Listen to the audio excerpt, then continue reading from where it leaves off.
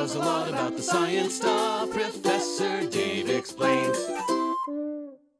In the previous tutorial, we learned about how metamorphic rocks form, but there are differences in the metamorphic process that result in different types of metamorphic rock. More specifically, geologists group metamorphic rocks into facies, which represent a common group of minerals that form over certain ranges of pressure temperature conditions. This makes it much easier to compare metamorphic rocks from different locations around the world, and also to relate metamorphic rocks to certain geologic environments. For example, the sodium amphibole glaucophane is only formed at low temperatures and very high pressures, and since these conditions are almost exclusively found in subduction zones, you can reasonably assert that any glaucophane containing rock formed there. This is how geologists use metamorphic facies in a nutshell. Rock X contains minerals A, B, and C. Therefore, it must have formed in geologic environment Z.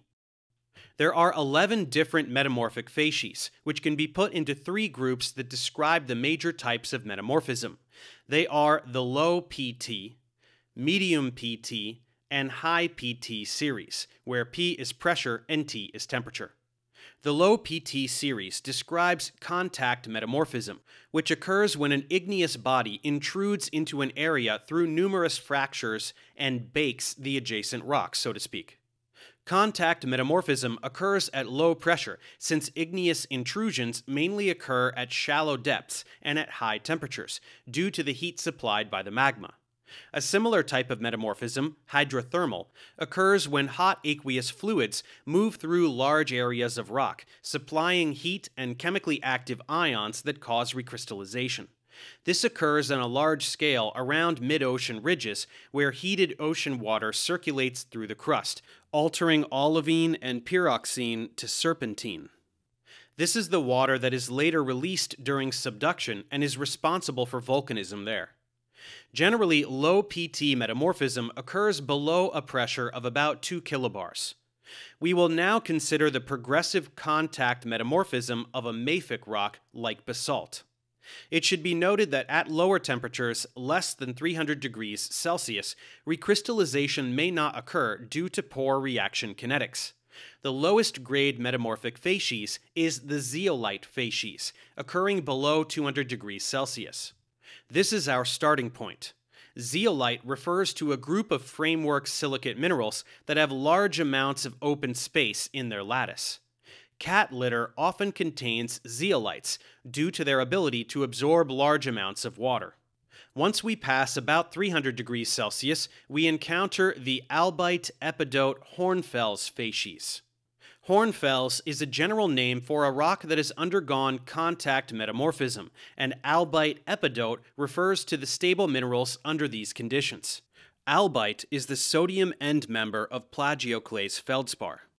An epidote is a somewhat obscure iron containing sorosilicate. At around 500 degrees Celsius, hornblende will begin to crystallize as we move into the hornblende hornfels facies. Hornblende is a calcium amphibole that appears over a wide range of metamorphic conditions. At around 650 degrees Celsius, it becomes too hot for the water containing amphiboles to exist, and they break down into pyroxene plus quartz plus water. These conditions mark the pyroxene hornfels facies. Finally, at a temperature of 800 degrees Celsius and a pressure of only 2 kilobars, we reach the sanidinite facies, where the potassium feldspar polymorph sanidine forms. However, these conditions are rare since it is difficult to attain such high temperatures so shallow in the crust. The medium PT series encompasses orogenic, or mountain building events, where the intense heat and pressure associated with colliding continents metamorphoses the rock near the collision. Medium PT metamorphism generally occurs at pressures between about 2 and 12 kilobars. Let's now consider the progressive orogenic metamorphism of a basalt, and like before, we start in the zeolite facies. From there, we move into the prehnite pumpellyite facies, starting at around 200 degrees Celsius and 3 kilobars. The next three facies probably represent the overwhelming majority of all metamorphic rocks on Earth, as they span a large range of PT conditions. Between 300 and 500 degrees Celsius is the green schist facies, which gets its name from the green color of the chlorite minerals that crystallize under these conditions.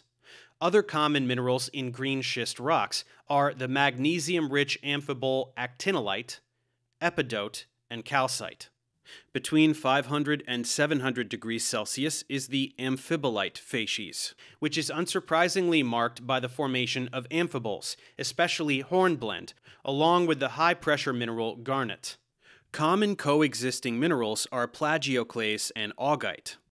Finally, we reach the granulite facies, which occur from 700 degrees Celsius all the way up to the onset of melting. It is characterized by a largely anhydrous mineral assemblage that commonly includes clinopyroxene, orthopyroxene, plagioclase, and garnet. The high PT series mainly occurs in subduction zones, where cold oceanic lithosphere is brought to great depths where the temperature would normally be much higher.